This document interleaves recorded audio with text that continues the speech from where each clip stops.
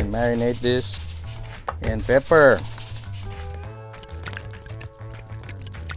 Pero isa lang to.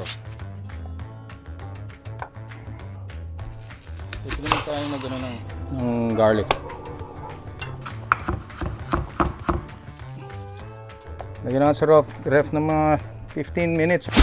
That's good, huh?